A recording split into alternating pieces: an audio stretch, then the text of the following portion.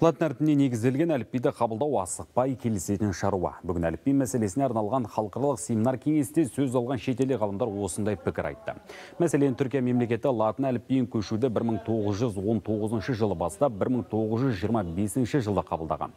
Сол себепті ұлттық негізі бар әріптеріміз жаңа әліпбиден түсіп қалмасы үшін асықпау керек дейді ұйымдастырушылар. Қазақ тілі басқа түркі тілдес елдер ішінде әліпбидегі әріптердің табиғилығын сақтап қалған бірден бір ел бүгінгі президенттің қойып отырған тапсырмасы сол. Мына жаңағы өзіміздің жасалып жатқан латынға негізделген әліпбиімізде тілдің табиғатының сақталуы ештеңкемізді жоғалтпайтындай кәдімгі сондай сапалы әліпби жасап шығару.